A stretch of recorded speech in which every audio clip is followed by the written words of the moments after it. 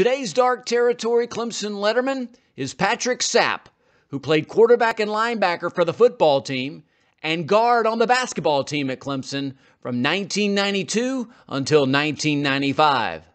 Sapp came to Clemson as a heralded quarterback under Ken Hatfield, where he completed 45% of his passes for nine touchdowns and 10 interceptions.